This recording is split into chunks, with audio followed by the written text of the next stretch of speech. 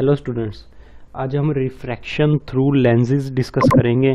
तो refraction through lenses जो है ये आपका नेक्स्ट जितना भी चैप्टर रह, रहता है वो तमाम इस पे बेस करता है।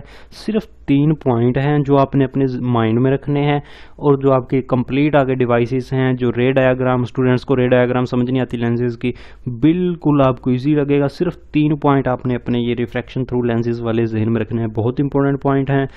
शॉर्ट क्वेश्चन में आ जाते हैं लॉन्ग क्वेश्चन में भी आ जाते हैं तो अच्छी तरह इस लेक्चर को सुनिएगा। सबसे पहला है कि the ray that is parallel to the principal axis तीन रेज के साथ आपको समझाऊँगा, जो ऑब्जेक्ट से आएँगी, फिर लेंस से गुजरने के बाद आगे इमेज बनाएँगी। ये वो रेज हैं, जो ऑब्जेक्ट से आ रही हैं। The ray that is parallel to the principal axis तो ऐसी रे जो प्रिंसिपल एक्सिस के पैरेलल होगी passing through the lens it will pass through the focus point तो कौन सी रे जो प्रिंसिपल एक्सिस के पैरेलल होगी?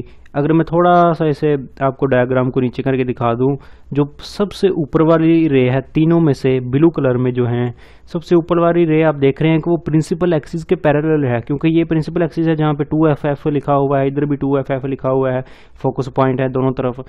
तो ये प्रिंसिपल एक्सिस है तो सबसे ऊपर वाली रे जो है, ये पैरेलल है, क्योंकि दोनों देखें आप, बिल्कुल पैरेलल हैं। हमने पढ़ा कि जो रे प्रिंसिपल एक्सिस के पैरेलल आएगी, वो लेंस में से गुजरने के बाद दूसरी तरफ़ फोकस पॉइंट में से गुजरेगी।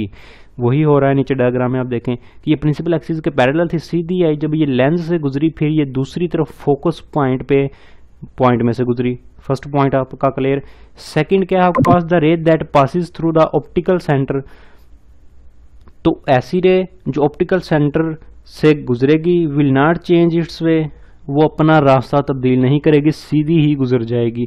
ऑप्टिकल सेंटर क्या है? जो लेंस का या मिरर का आपका सेंटर होता है सेंटर पॉइंट उसका प्रिंसिपल एक्सिस के ऊपर वो आपका ऑप्टिकल सेंटर है।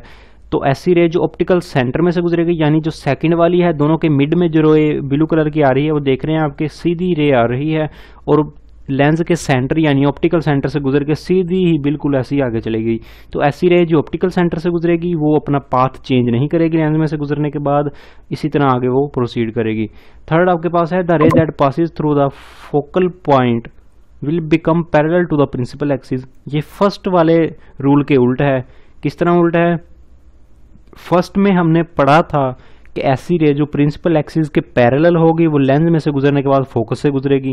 अब हम पढ़ रहे हैं कि ऐसी रे जो फोकस में से गुजरेगी, वो लेंस से गुजरने के बाद प्रिंसिपल एक्सिस के पैरेलल हो जाएगी। किस तरह फ़र्स्ट पे आप गौर करेंगे प्रिंसिपल एक्सिस के पैरेलल है लेंस से गुजरने के बाद, दूसरी तरफ़ जो फोकस पॉइंट मौजूद है उससे गुजरी। अब हम पढ़ रहे हैं जो फोकस से गुजरेगी, कौन से फोकस है जो लेंस की इस तरफ़ है, जो ऑब्जेक्ट वाली साइड की तरफ़ है बॉडी वाली साइड की तरफ़ है, उससे रे जो गुजरेगी थर्ड वाली एफ़ से गुजर रही है फोकस से।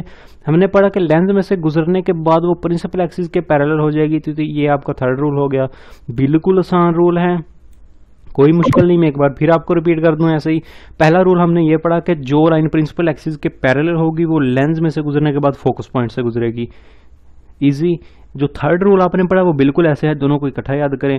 जो फोकस से गुजरेगी, वो प्रिंस लेंस में से गुजरने के बाद प्रिंसिपल एक्सिस के पैरेलल हो जाएगी। दो रूल तो आपको याद हो गए थर्ड हमने ये थर्ड बिल्कुल इजी जो ऑप्टिकल सेंटर से गुजरेगी, वो सीधी गुजरेगी, वो अपना पाथ चेंज नहीं करेगी। थैंक्स